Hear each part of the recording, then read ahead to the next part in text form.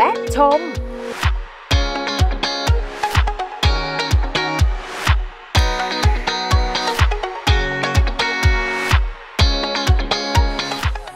อุลุธรรมา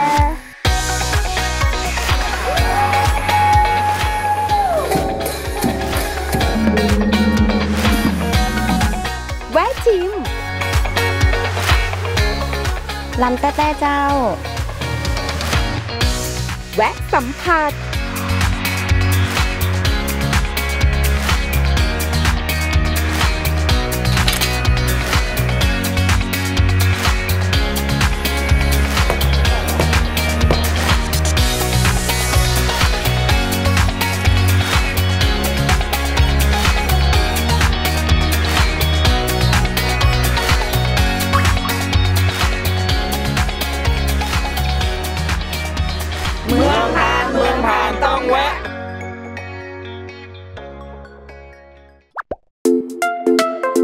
สำหรับเช้าวันนี้ เราจะพามาดื่มด่ำกับบรรยากาศที่แสนจะบริสุทธิ์มากๆ เป็นความงามที่อยู่ท่ามกลางท้องทุ่ง และมีเมนูความอร่อย ให้เราได้ฟินอย่างแน่นอนค่ะ อาหารของเราที่ขึ้นชื่อก็คือมีก๋วยเตี๋ยวลุยสวน ผัดไทย ขนมจีบ ก็ทำเอง ไก่ราดซอสองุ่นเนี่ยเราทำ องุ่นเรามาทำเป็นซอสเองไม่ได้ไปซื้อที่ไหนทำเองค่ะ เป็นพื้นที่ว่างเปล่าอะค่ะ พ่อก็ได้ปลูกองุ่นแล้วก็อยากทำเป็นร้านกาแฟร้านอาหารเล็กๆอะค่ะ อาหารส่วนเรื่องอาหารนะคะ เราจะเน้นย้ำเรื่องของสุขภาพค่ะ แล้วก็ความปลอดภัยค่ะ ก็ทางไม้หมอนฟาร์มก็ยินดีทุกท่านที่มาเที่ยวแล้วก็ให้ความรู้ทุกๆอย่างในสวนเรามีที่นี่สามารถมาชมและมาสอบถามได้ค่ะ ค่ะ ถ้าท่านมาเที่ยวที่ไม้หมอนฟาร์มนะคะ ท่านก็จะได้รับอากาศที่บริสุทธิ์ค่ะ บรรยากาศที่ดี และอาหารที่อร่อย อาหารที่ปลอดภัย ปลอดสาร และสุขภาพดีค่ะ และท่านก็จะได้รับการบริการที่ประทับใจกลับไปอย่างแน่นอนค่ะ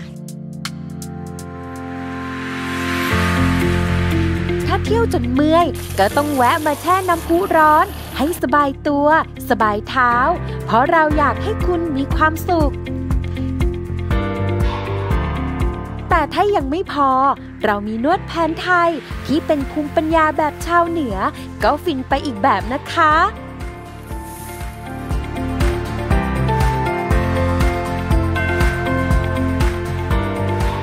ครั้งต่อไปผ่านมาเมืองพาน ไม่แวะไม่ได้แล้ว